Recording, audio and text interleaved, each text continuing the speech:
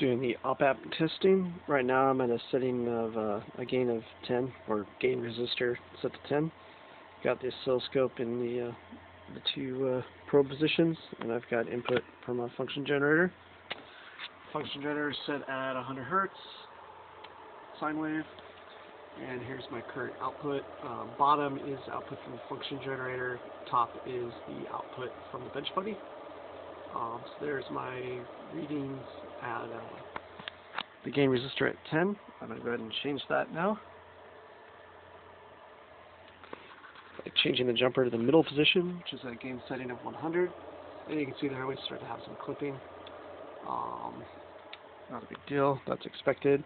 And then finally uh, a gain setting of, or a gain resistor setting of 1000.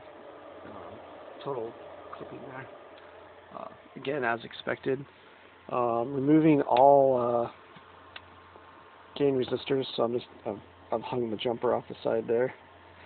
Um, I don't know if we'll be able to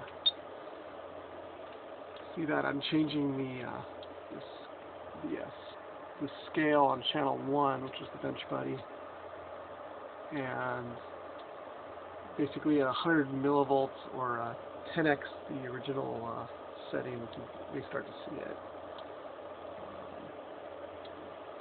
About, about as close as we're going to get. That's a setting of 20 millivolts.